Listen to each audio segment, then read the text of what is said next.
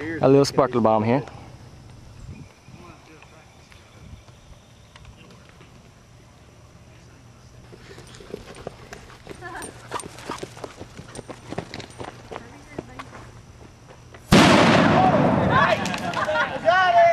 Catch